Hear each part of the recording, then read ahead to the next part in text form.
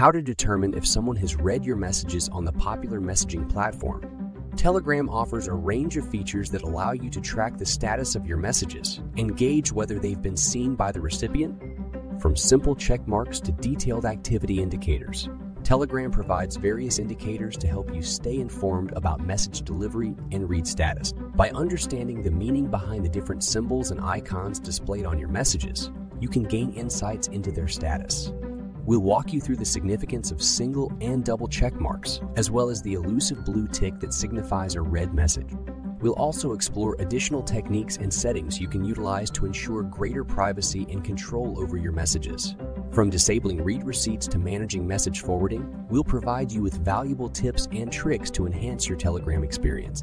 Whether you're using Telegram for personal or professional communication, being able to track message status is an invaluable tool. Stay in the loop and never wonder if your messages have been read again. Get ready to unlock the secrets of message tracking on Telegram with this comprehensive guide